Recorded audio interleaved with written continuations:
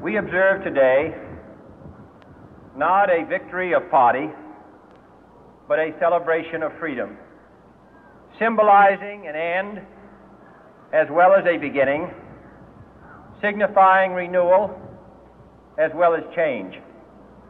For I have sworn before you and Almighty God the same solemn oath our forebears prescribed nearly a century and three quarters ago. The world is very different now, for man holds in his mortal hands the power to abolish all forms of human poverty and all forms of human life. And yet, the same revolutionary beliefs for which our forebears fought are still at issue around the globe. The belief that the rights of man come not from the generosity of the state, but from the hand of God. We dare not forget today that we are the heirs of that first revolution. Let the word go forth from this time and place to friend and foe alike that the torch has been passed to a new generation of Americans born in this century, tempered by war, disciplined by a hard and bitter peace, proud of our ancient heritage, and unwilling to witness or permit the slow undoing of those human rights to which this nation has always been committed and to which we are committed today at home and around the world.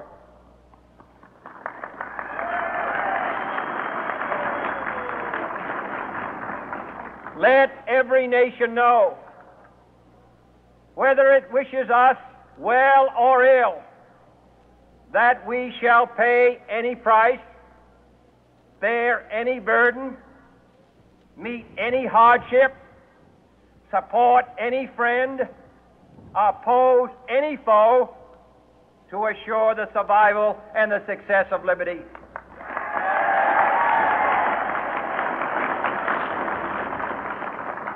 This much we pledge and more. To those old allies whose cultural and spiritual origins we share, we pledge the loyalty of faithful friends. United, there is little we cannot do in a host of cooperative ventures. Divided, there is little we can do.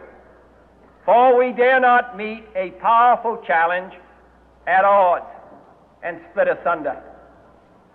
To those new states whom we welcome to the ranks of the free, we pledge our word that one form of colonial control shall not have passed away merely to be replaced by a far more iron tyranny.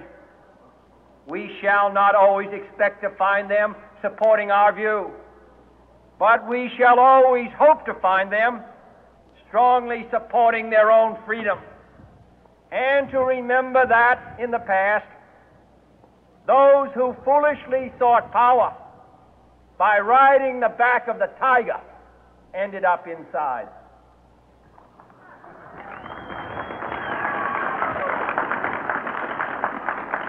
To those people in the huts and villages of half the globe struggling to break the bonds of mass misery, we pledge our best efforts to help them help themselves. For whatever period is required, not because the communists may be doing it, not because we seek their votes, but because it is right. If a free society cannot help the many who are poor. It cannot save the few who are rich.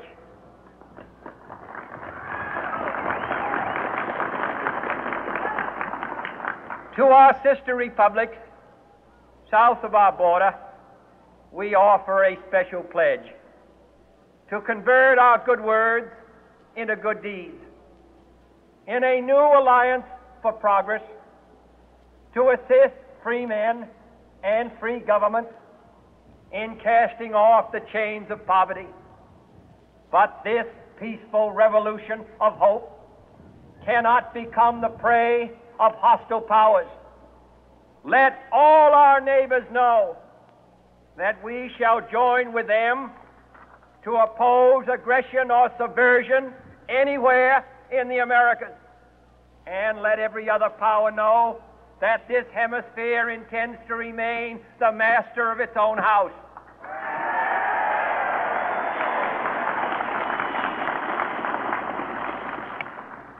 To that World Assembly of Sovereign States, the United Nations, our last best hope, in an age where the instruments of war have far outpaced the instruments of peace, we renew our pledge of support to prevent it from becoming merely a forum for invective, to strengthen its shield of the new and the weak, and to enlarge the area in which its writ may run. Finally, to those nations who would make themselves our adversary, we offer not a pledge, but a request that both sides begin anew the quest for peace. Before the dark powers of destruction, unleashed by science, engulf all humanity in planned or accidental self destruction. We dare not tempt them with weakness, for only when our arms are sufficient beyond doubt can we be certain beyond doubt that they will never be employed.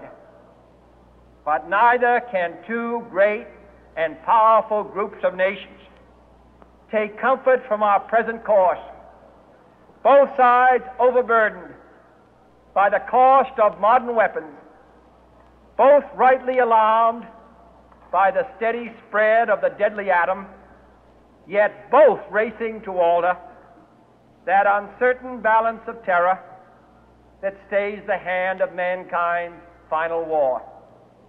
So let us begin anew, remembering on both sides that civility is not a sign of weakness and sincerity is always subject to proof. Let us never negotiate out of fear, but let us never fear to negotiate.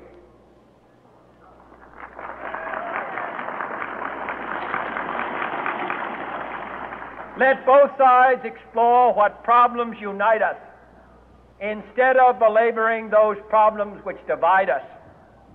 Let both sides, for the first time, formulate serious and precise proposals for the inspection and control of arms and bring the absolute power to destroy other nations under the absolute control of all nations.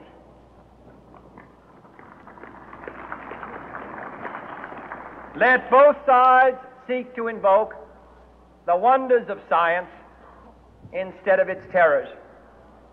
Together, let us explore the stars, conquer the deserts, eradicate disease, tap the ocean depths, and encourage the arts and commerce.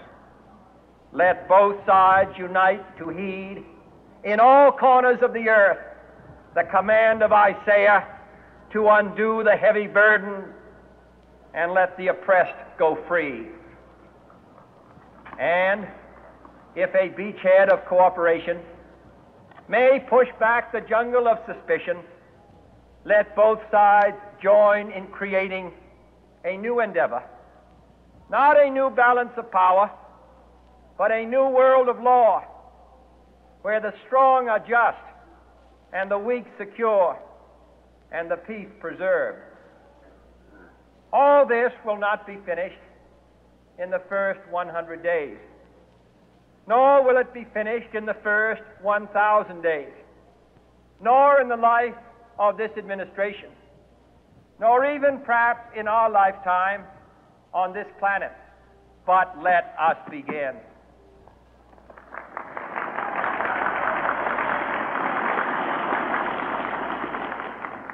In your hands, my fellow citizens, more than mine, will rest the final success or failure of our course.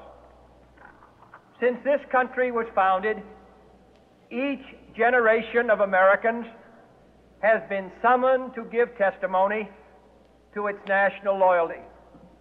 The graves of young Americans who answered the call to service surround the globe. Now the trumpet summons us again, not as a call to bear arms, though arms we need, not as a call to battle, though in battle we are, but a call to bear the burden of a long twilight struggle, year in and year out,